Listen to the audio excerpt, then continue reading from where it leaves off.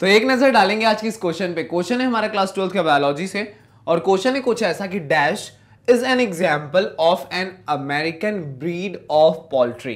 तो हमारे पास चार ऑप्शन है, और इसमें से कोई जो है वो एक अमेरिकन ब्रीड का एग्ज़ाम्पल है। पहला ऑप्शन कहता है लेगहॉर्न दूसरा एग्ज़ाम्पल कहता है सलमेट्रेल तीसरा ऑप्शन कहता है ऑक्स बर्गर एंड चौथा ऑप्शन कहता है मैंग्स रम्पी तो इस क्वेश्चन का आंसर हो जाएगा हमारा ऑप्शन ए लेग हॉर्न तो यहाँ आ जाएगा हमारा लेग हॉर्न ये हो जाएगा हमारा correct answer for this question